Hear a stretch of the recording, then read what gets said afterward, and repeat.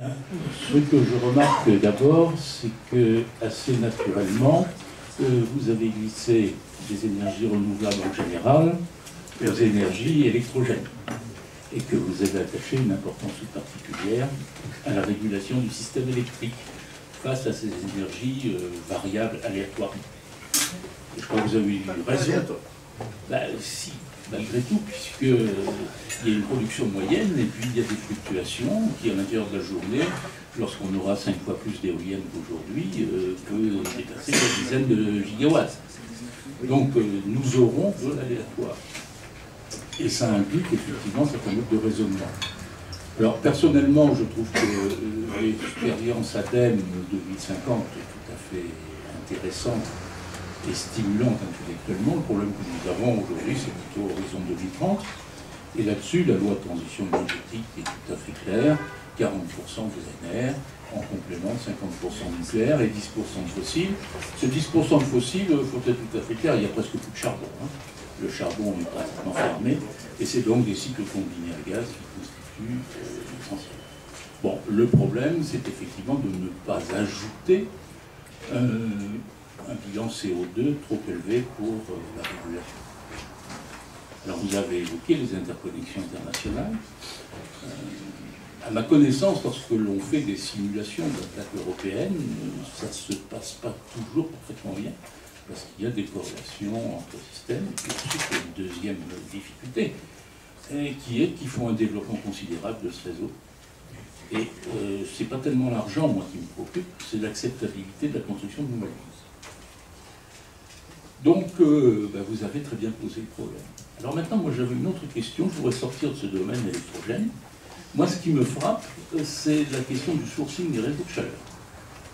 Je trouve qu'aujourd'hui, euh, il y a quand même une prédominance des énergies fossiles qui est assez alarmante. Alors, euh, que pensez-vous qu'on puisse faire sur le sourcing des réseaux de chaleur? Oui, alors, un, point d'abord sur les, les énergies électrogènes et la, question des, fossiles. Vous avez dit euh, c'est surtout du gaz euh, aujourd'hui en France, euh, de moins en moins de charbon, c'est tout à fait vrai. En France, c'est pas vrai en Europe.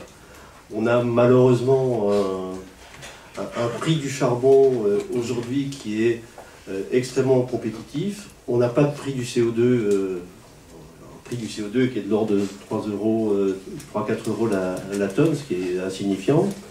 Et euh, donc le résultat, c'est que ces dernières années, on a vu euh, le charbon, notamment en Allemagne, se substituer au gaz, ce qui a eu pour effet, ça, ça s'est inversé en 2014, mais en 2012 et 2013, d'avoir un système électrique dont les émissions de CO2 augmentaient malgré la diminution de la part euh, des, énergies fossiles.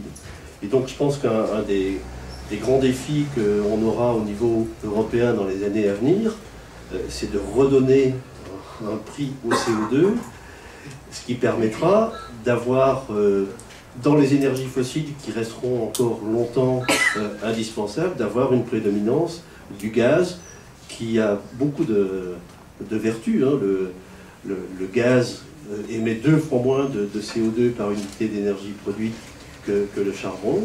Et comme je l'ai dit tout à l'heure, il est beaucoup plus flexible.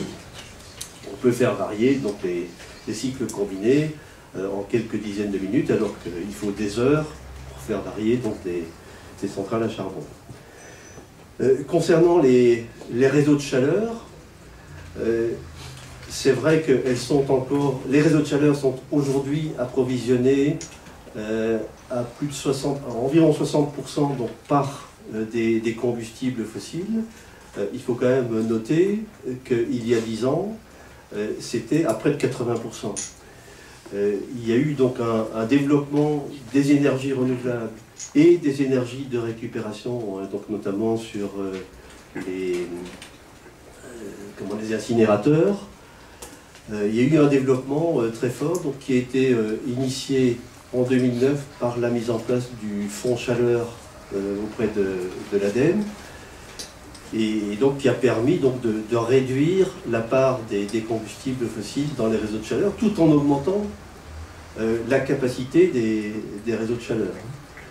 Et, donc je pense que c'est quelque chose qu'il faut continuer, il faut amplifier. Donc on a encore une marge de progression d'environ de, 60%. Et cet instrument du réseau de chaleur, du, fonds chaleur de, de l'ADEME, il, est extrêmement opérationnel aujourd'hui et il faut continuer, continuer à le, faire fonctionner. Et on a un, bon exemple avec le, réseau de chaleur de la CPCU ici à Paris, euh, où on a euh, des, développements qui vont arriver, donc euh, à la fois de la géothermie et, de la biomasse, pour réduire la, part des, combustibles fossiles.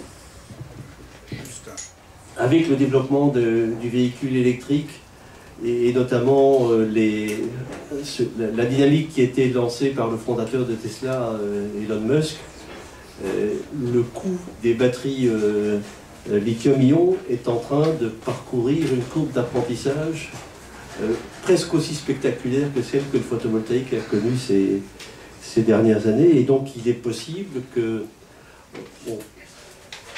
on, ait des batteries extrêmement euh, compétitives dans les années à venir. Concernant donc l'évolution des mécanismes de soutien, donc le passage au, marché plus prime, il est clair que cette introduction donc, va euh, introduire plus d'incertitude sur la, rémunération des projets et, donc euh, introduire un coût du financement euh, qui, sera plus élevé. Aujourd'hui, donc sur l'idée d'une prime qui serait déterminée sur une période qu'on ne connaît pas encore, mais qui serait déterminée a posteriori et donc de façon à atteindre un niveau de rémunération euh, cible.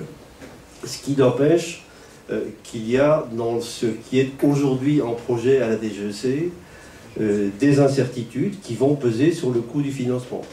Et donc, nous,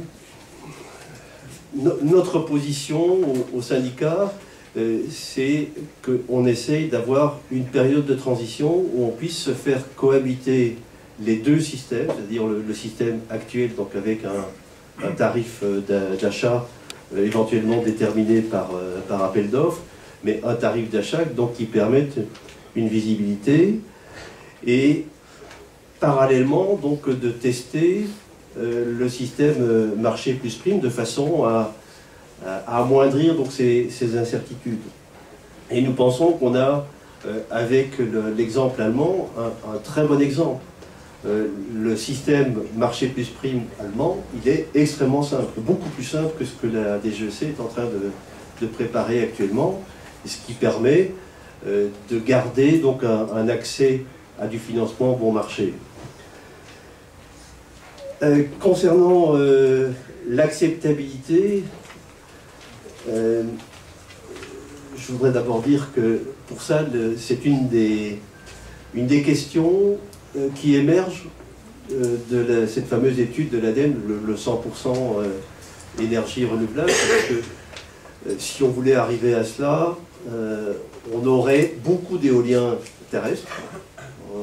suivant les scénarios, ça pourrait aller jusqu'à 100 gigawatts, donc c'est-à-dire 10 fois plus que ce qu'on a actuellement.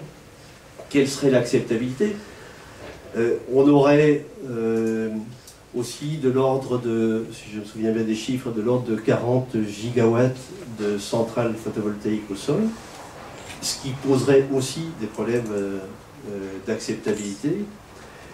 Euh, maintenant, l'acceptabilité aujourd'hui sur l'éolien, elle est bien meilleure que ce que l'on peut entendre dans la presse.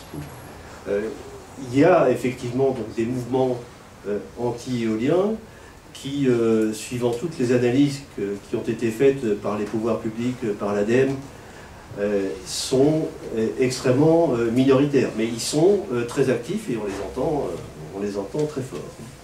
Donc je pense que l'acceptabilité de l'éolien dans la population en général, et y compris dans les populations riveraines des parcs, ben, cette acceptabilité, elle est bonne.